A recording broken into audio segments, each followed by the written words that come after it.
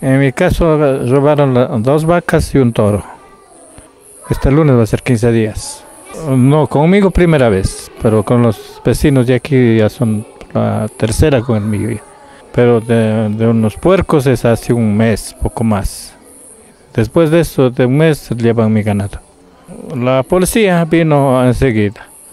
Ellos dijeron que van a hacer una investigación, pero no han regresado más. La fiscalía creo que decía que tenía que venir para investigar en, eh, de dónde, del sitio exacto en donde estaban amarrados. ¿El ganado suyo en cuánto estaba valorado? Más o menos unos 2.500. Respecto de las autoridades, sí quisiera que hagan conocer que la policía de aquí no está especializada para esos asuntos. Existen evidencias, existen huellas que debieron ellos llamar a criminalística, que hay policía especializada para determinar quiénes son los autores. Sin embargo, a pesar de haber llamado a la policía, haber acudido a la, a la fiscalía, no se hace nada y por eso la gente sigue haciendo lo mismo. Por eso es que eh, queda en la inmunidad prácticamente si no hay testigos de quienes se llevaron el ganado. Eh, soy un, perjudicado de un robo de ganado. Justamente la noche del, del, temblor y tanta cosa, ¿no?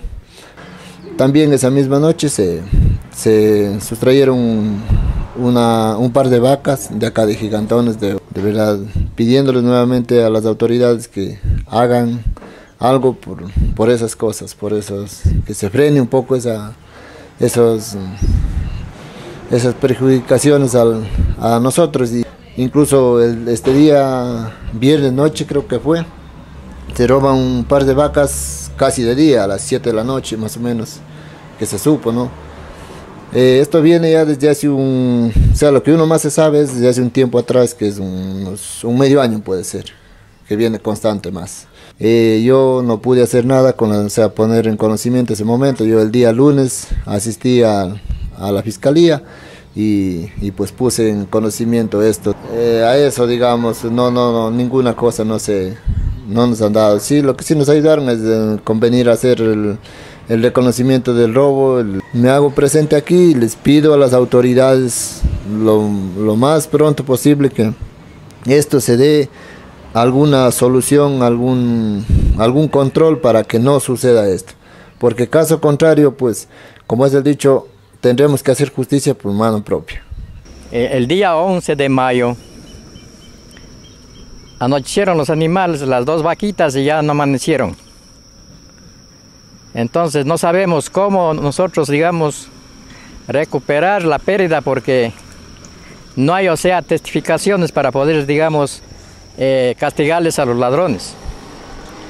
Yo quisiera que haya, digamos, una, un valor un ánimo de alguna autoridad para ver, digamos, cómo, digamos, hacemos respetar nuestros um, animalitos que nos cuesta tanto para tener.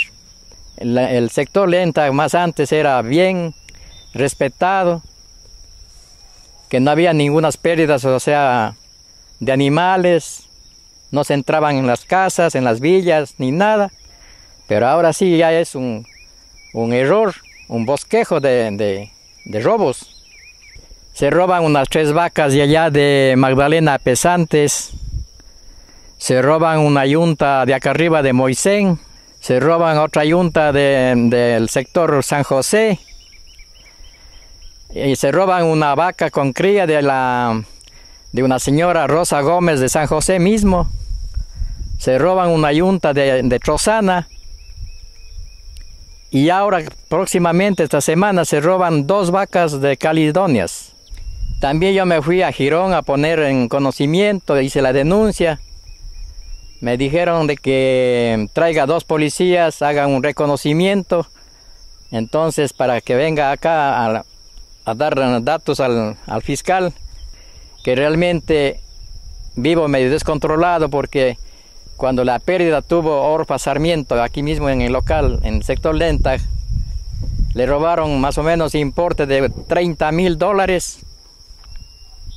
Vino el señor fiscal de Girón, vino el, señor fiscal de, Cuenca y no hemos sacado nada con todas esas autoridades que han hecho, digamos, el, favor de venir a inspeccionar. Hasta el 2014 vivíamos tranquilos. Tal vez una vaca dos vacas se llevaban, pero ahora este año, el 2015, sí, Y ahora que estamos en el 2016, peormente.